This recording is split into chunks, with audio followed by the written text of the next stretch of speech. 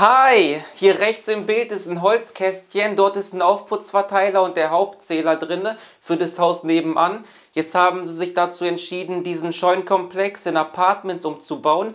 Habe auch schon diverse Arbeiten geleistet. Vom Energieversorgungsunternehmen wurde der Hausanschlusskasten auch schon erneuert. Aber aufgrund dessen, dass hier jetzt ein bisschen mehr reinkommt, wie Wallbox, Apartments, eventuelle Photovoltaikanlage, das Haus nebenan weiterhin bespeist werden soll, plus Hauswirtschaftsraum hinten mit Wärmepumpe und alles Mögliche. Ist es jetzt so, ich habe hier auf jeden Fall selektiven Leitungsschutzschalter und einen Kombiableiter. Der Kombiableiter wird aber aufgrund der Leitungslänge zu den Unterverteilungen für die Apartments nicht ausreichen. Deswegen dort auch nochmal ähm, entsprechend Überspannungsschutz für die Hutschienenmontage, nicht für die Sammelschienenmontage. In dem Video soll es hauptsächlich darum gehen, im Apartment so ein Hohlwandverteiler einzubauen. Das mache ich heute. Am Ende auch im Schnelldurchlauf die reinen Einbaugeräte. Ich habe die Planung schon komplett durch. Ich habe die ganzen Teile da, die ich dazu benötige. Wollte nur einmal sagen, worum es hier so in etwa geht. Und demnach ist das Ganze so. Das ist jetzt äh, Technikraum und das Teil kommt weg. Das hier wird neu gemacht. Hier wird es Vorsicherungen und El Taco Drehstromzähler geben. Also auf jeden Fall der Hauptzähler Gesamtzähler wird versetzt. Und dann werden wir für Apartment 1, für Apartment 2, wo hier auch die 5x6 Quadrat Steigleitungen schon bereit liegen, äh, Schmelzsicherungen haben, plus ein Zähler direkt daneben, alles schön beschriftet. Die Wallboxen im Außenbereich für die Apartments, zwei Stück, werden auch nochmal separate Zähler und Vorsicherungen bekommen und über einen Fehlerstromschutzschalter noch im Vorfeld abgesichert und alles Mögliche. Und Hauswirtschaftsraum, wo ich 5x10 Quadrat gezogen habe, kommt eine Aufputzverteilung hin. Dort wird auf jeden Fall auch noch eine Schmelzsicherung. Also das ist so der zentrale Kasten für Haussicherungen und die ganzen Vorsicherungen der ganzen Sachen, die da passieren. Aber jetzt geht es auf jeden Fall darum, den Hohlwandverteiler in der Form einzubauen.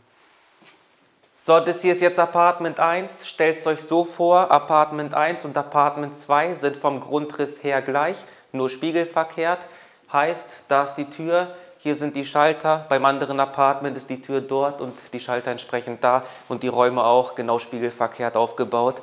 Deswegen auch, wenn ich den Hohlwandverteiler am Ende mit der Tür und so weiter bestücke, werde ich hier darauf achten, dass die so aufgeht, dass die Scharniere rechts liegen und auf der anderen Seite entsprechend umgekehrt spiegelverkehrt, dann wird es so aufgehen, aber es ist entsprechend auch auf der anderen Wandseite und so weiter. Hier wurde mit Trockenbau gearbeitet, wo neue Wände aufgestellt wurden oder hier die Außenwand gedämmt wurde und so. Ab und zu haben sie auch Ütungssteine genutzt, wo es entsprechend äh, der Fall gewesen ist. Aber so ist das Ganze. Man sieht, ich habe hier Vorarbeit geleistet. Trockenbauer war auch richtig gut, hat sogar die Striche hier hingezeichnet, wo die Profile sind, sowohl auf den Wänden als auch auf dem Boden. Die Leitungen waren vor der Dämmung. Es gibt nichts Schlimmeres, als wenn der Trockenbauer seine Dämmstoffe oder hier diese Glaswolle oder Steinwolle einfach so auf die Leitungen draufpappt, die Trocken, die Gipskartonwände drauf macht, der Elektriker am Ende seine 68 mm Löcher bohrt und dann noch in der Dämmwolle rumfummelt und alles rausreißt, um ganz hinten die Leitung noch finden zu können. Hier hat er alles richtig gemacht. Hier sind die Schalter, hier ist der Hohlwandverteiler. Die Leitungen habe ich hier runtergehangen und mit Kabelbinder fixiert. Er hat die vor die Dämmwolle gepackt und deswegen machen wir das Ganze. Die Steckdosen hier sind genau mittig von den Profilen, die er aufgestellt hat. Wir haben im Vorfeld schon gesagt, okay, ich brauche auf jeden Fall das Maß hier von der Breite. Demnach hat er auch das vom Ständerwerk so aufgestellt.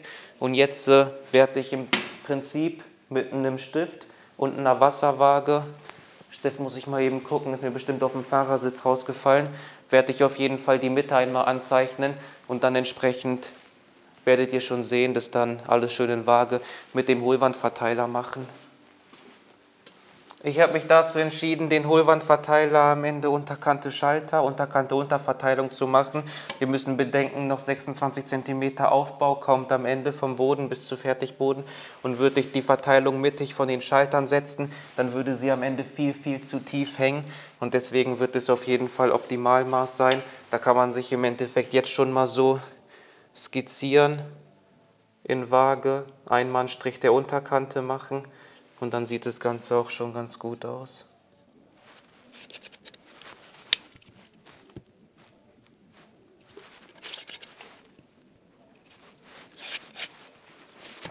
Dann kannst du hier nochmal kontrollieren. Anhand von Seilenstrichen, wo die Profilmitte ist, haben wir 47,5 und hier bin ich auf 23,5, hätte 23,75 sein, um genau mittig zu sein, aber wird auf jeden Fall schon passen, wird auf jeden Fall mittig von der Steckdose unten sein, alles gut. Ja, Hohlwandverteiler ist ja mal ein bisschen was anderes, würde ich mal behaupten. Aufputzverteiler ist ja komplett easy. Mit, äh, ja, je nach Größe wird es mit vier oder sechs Schrauben befestigt, einfach auf der Wand. Aufputz, Unterputzverteiler, am besten mit Gips. Und da hat man die Metalllaschen entsprechend, um das an der Wand fest zu nageln oder schrauben.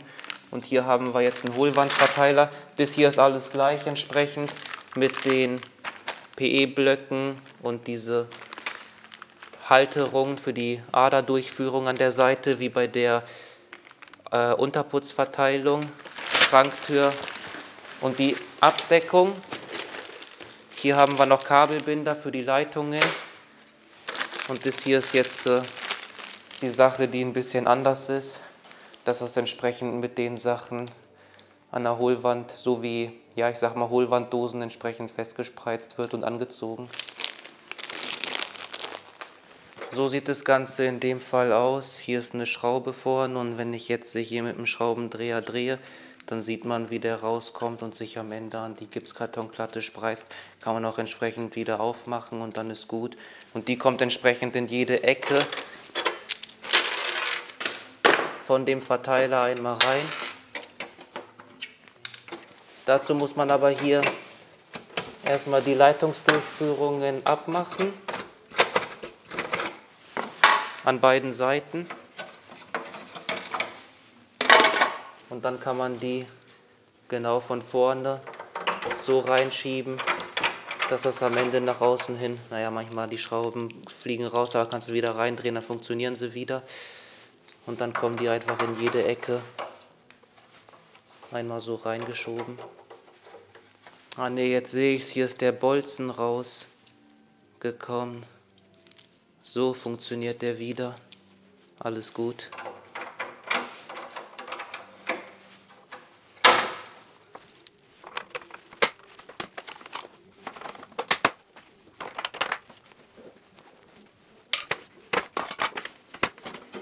So, an manchen Stellen, wenn man die Schraube einfach so reindrückt, dann macht er sich wieder auf, kann aber wieder so machen und dann ist in Ordnung. Und hier genau das gleiche, einmal wieder zurück und dann passt das. Naja, vielleicht wäre es doch besser, direkt am Anfang anzuzeichnen. Die Schrauben müssen auf jeden Fall drin sein, um das Teil hier wieder drauf zu bekommen. Und das benötige ich jetzt, um es entsprechend ordentlich anzeichnen zu können. Deswegen mache ich das einmal wieder rein. Dann lege ich mir die Verteilung einmal so, dass Top oben steht. Und dann kann ich mich daran orientieren, das hier unten an der Linie ranzuhalten. Da ist auch ein Langloch. Mittig davon werde ich das auf jeden Fall so machen. Und wenn das unten gerade an der Linie ist, dann kann ich schon mal die Umrisse anzeichnen, aber nicht komplett außen, sondern wirklich da, wo die Langlöcher von dem Kunststoffgehäuse sind.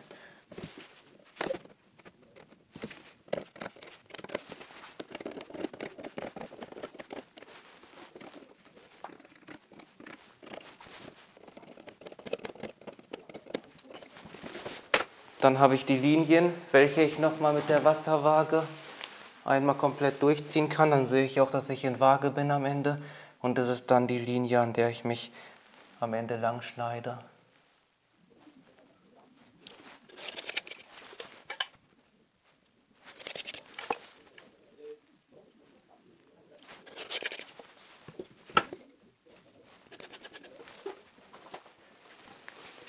Das hier ist jetzt der komplette Ausschnitt. Jetzt habe ich hier so ein Messer, welches für Gipskartonplatten geeignet ist. Und da fange ich an der Ecke an, mir das hier einzustochern und dann kann ich runtersägen. Nur hier muss ich entsprechend aufpassen, dass ich die Leitungen nicht komplett beschädige. Klar ist in Ordnung und passiert jedem, dass man entsprechend die graue, den grauen Mantel ein bisschen anratscht ist aber halb so wild, solange die Einzeladern bzw. die Isolierung der Einzeladern noch komplett intakt ist, passiert da auf jeden Fall nichts.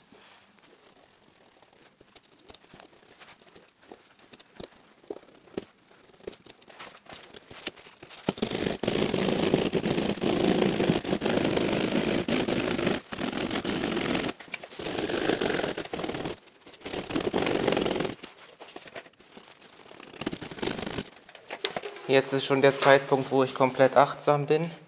Und da fahre ich gar nicht so tief rein, sondern probiere ein bisschen so schräg anzuritzen. Und dann wird das schon.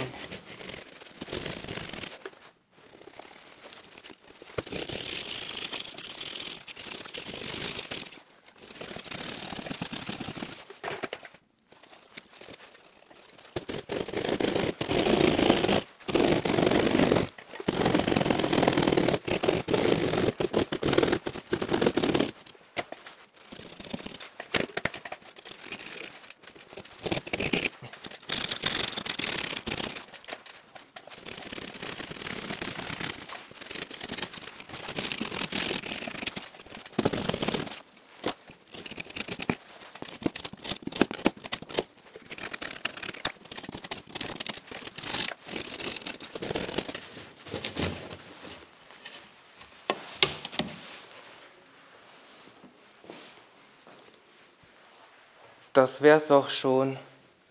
Das hier sieht auf jeden Fall richtig gut aus. Da ist so gut wie nichts passiert. Und hier oben, Steigleitung ist gut.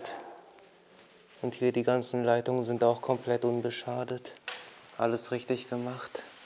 Jetzt kann ich einen Kabelbinder hier einmal abschneiden und dann die Leitungen entsprechend schon so mäßig nummerieren, wie die am Ende auf die LS-Schalter, Neutralleiterblöcke und PE-Blöcke aufgelegt werden. Jetzt beim Hohlwandverteiler werde ich die Teile wieder rausnehmen, um an die Schrauben zu kommen. Werde mir die Laschen wieder so machen, dass ich den einsetzen kann. Also einmal alles aufschrauben.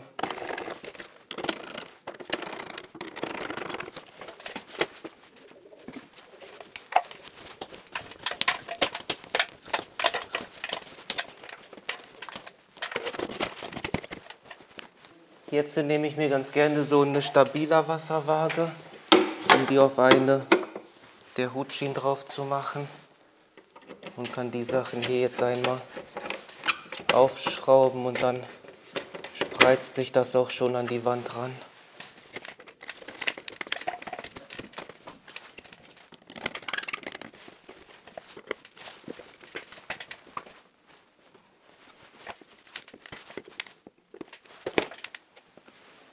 Und das Ergebnis kann sich in der Form auf jeden Fall sehen lassen. Unten kann das einmal hier direkt so, da werden keine Leitungen hinkommen. Passt. Und oben werde ich mir das entsprechend ausbrechen.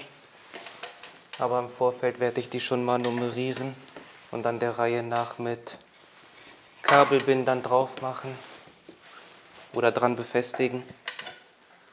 So, das Ding ist, ich probiere die Steigleitung auch hier noch nach rechts zu verlegen. Beim anderen Apartment kommt die direkt hier von rechts. Hier möchte ich die Hauptabzweigklemme hinmachen. Habe sonst hier alles beschriftet. Hier haben wir auf jeden Fall FI1, FI2. Dann die Stromkreise für Kochfeld, Küchenzeile, Wohnbereich, Schlaftaster, also die fünfwadrige Tasterleitung für Schlafbereich über eine Wechselschaltung am Ende, aber spielt keine Rolle. Dann Schlafbereich generell, Geschirrspüler, Waschmaschine, Badezimmer, Kühlschrank plus Dunstabzug und am Ende noch den Taster für Wohnbereich und dann ist das gut. Oben Dimmrelais für Wohn- und Schlaf und dann noch ein Überspannungsschutz oben links.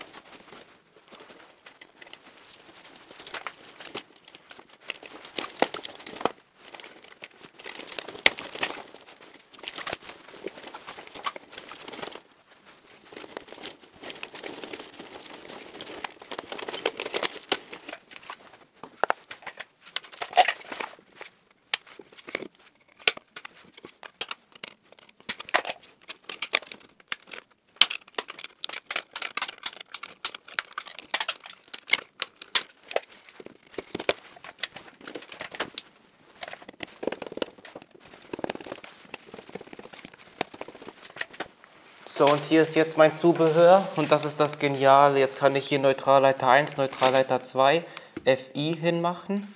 Habe alle hier beschriftet, der Reihe nach. Im Handy in der App habe ich die Beschriftung auch der Reihe nach, der LS-Schalter. Komme somit hier überhaupt nicht durcheinander.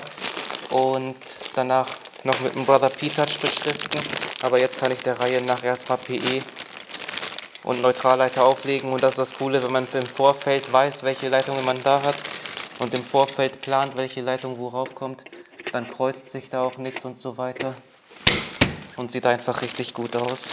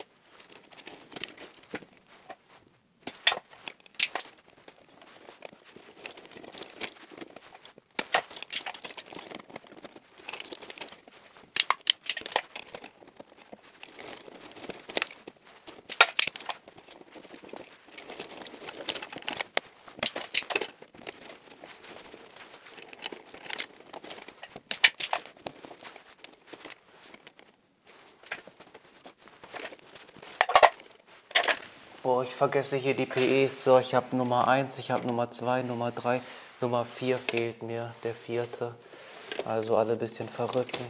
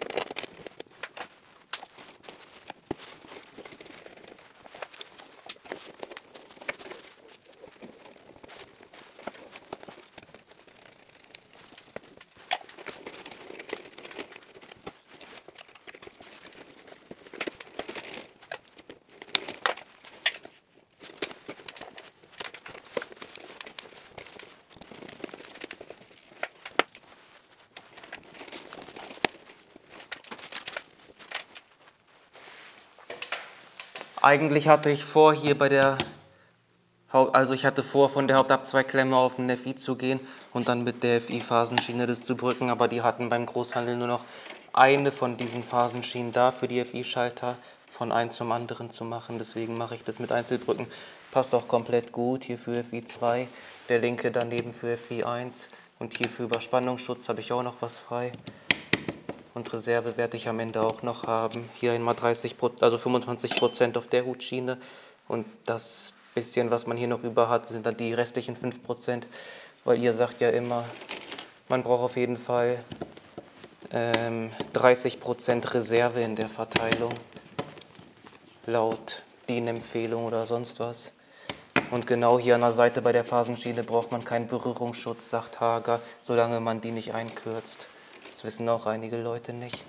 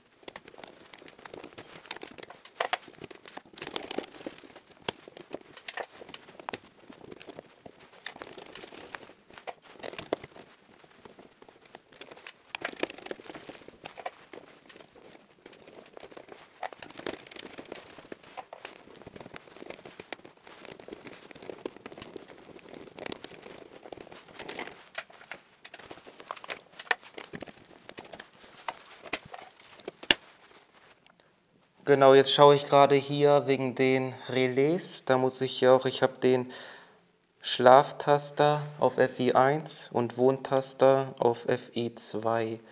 Dann mache ich das hier auch Schlaf und Wohn. Nehme den Neutralleiter von hier für Schlaf und für hier für Wohn. Die Phase nehme ich von hier hierfür, von hier hierfür. Und schwarz-grau Genau ist der linke Schlaf, der rechte Wohn. Das heißt, das hier links ist auch der erste, beziehungsweise das erste Relais. Und das hier ist dann das zweite Relais. Mache ich schwarze Lampe und grau getasteten auf A1.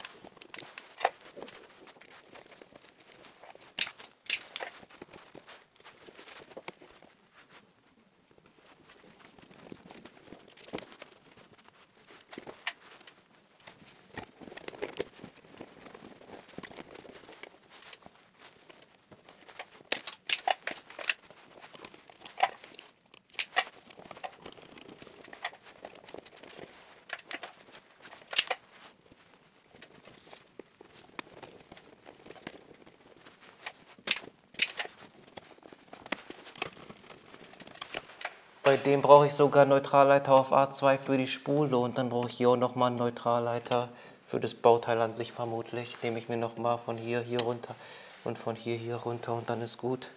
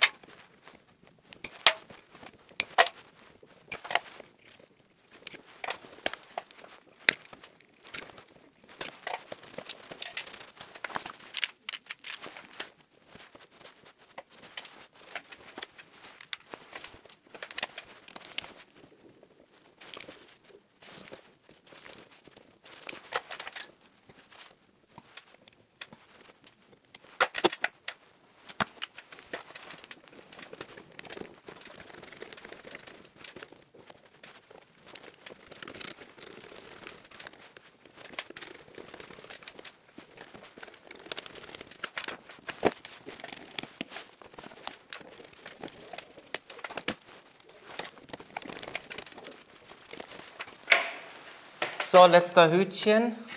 Beschriftung habe ich auch schon vorbereitet in der Zwischenzeit. Mache ich kurz mal drauf.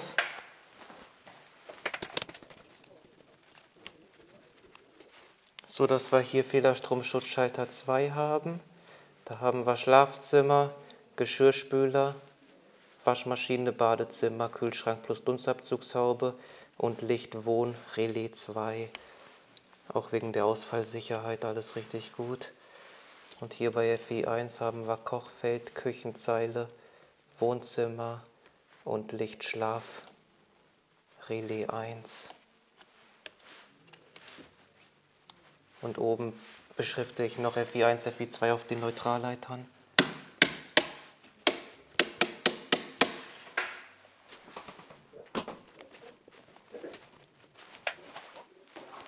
So, ich hoffe, ihr hattet Spaß beim Zusehen, wie ich so einen Hohlwandverteiler eingebaut, bestückt und verdrahtet habe. Könntet eventuell ein bisschen was mitnehmen zur Planung. Alle Leitungen sich vorher angucken, nach Hause fahren, gucken, Ausfallsicherheit, das auf den FI, das auf den FI, das auf den LS, das auf den LS. Dann der Reihe nach strukturieren die ganzen Leitungen, kommen auch noch nicht durcheinander und so weiter. Und alles passt und du stehst nicht davor und wirst, wirrwarst irgendwas zusammen und Deswegen bin ich damit auch in der Form zufrieden und so würde ich jederzeit immer wieder gerne arbeiten. Dann würde ich sagen, das war's mit dem Video. Bis zum nächsten Mal. Tschüss!